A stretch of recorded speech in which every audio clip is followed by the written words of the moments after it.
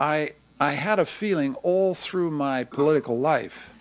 It was like a doppelganger.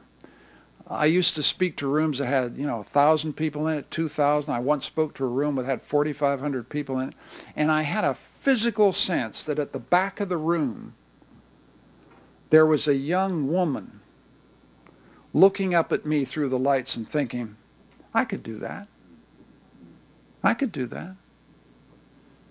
And then when I failed, I had an equally strong sense that she was still there at the back of the room thinking this.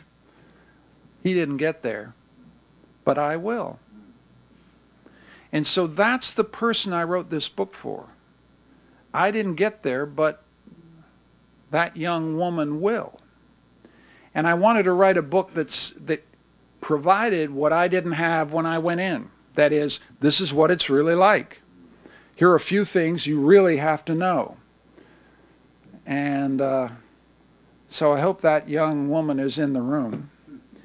And I hope she knows that I didn't get there, but she will.